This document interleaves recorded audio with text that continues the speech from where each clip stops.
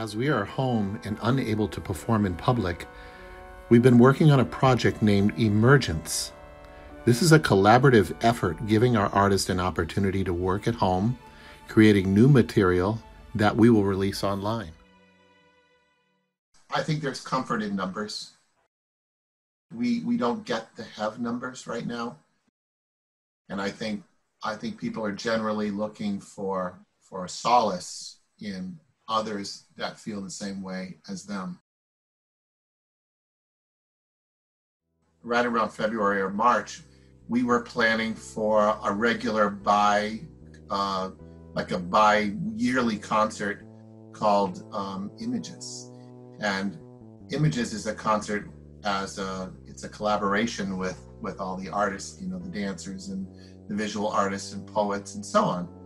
And then, um, and then COVID hit and we had a meeting and said we need to do something else. This this isn't going to work. We're not going to be able to play for audiences for a long time probably.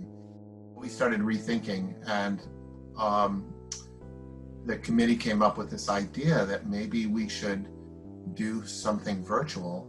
And we we finally came to the name emergence meaning that uh, eventually all all of us are going to come out of this. Are living in a time of so much division we are literally divided by covid. We can't see our families. We can't hug our friends. We're divided by racial injustice black lives versus blue lives. We have this toxic divide in politics that is just causing all the division to be wider.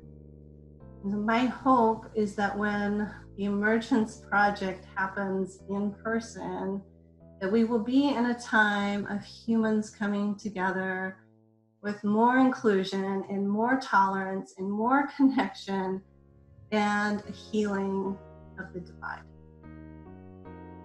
Because of the coronavirus, we were limited to very small things in very limited spaces with very limited resources, and um, and and uh, and and again, I keep saying it that that that resulted in some some really interesting things that wouldn't have happened under any other circumstances. I think that uh, part of the collaboration and part of create, creativity is that artists really need other artists to inspire them to help them move forward with what they're doing.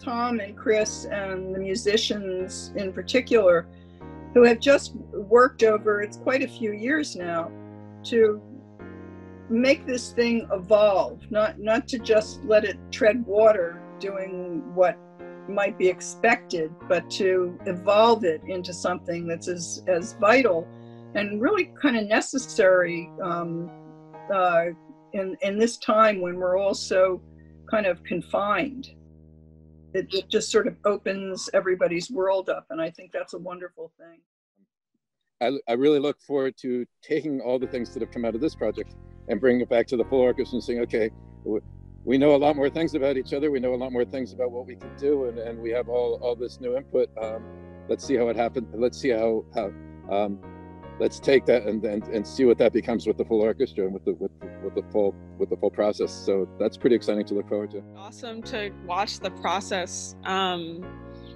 my dad is someone who seems to just always have a project. he always needs to be doing something, and he has such a focus on community and collaboration, and that's just so inspiring to me. Uh, to um, have the joy of, of working with some people very closely uh, was very healing. Was was probably what got me through this. In the meantime, this medium emergence has been a great way of getting our music out, getting our work out.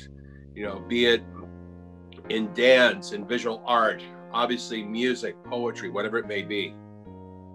Music is what I do. That's that's my life, and if I don't do it, I, I, I diminish To participate in something like this and to be able to collaborate with other fellow artists, you know, at a time when it's really, you know, the concert halls are closed.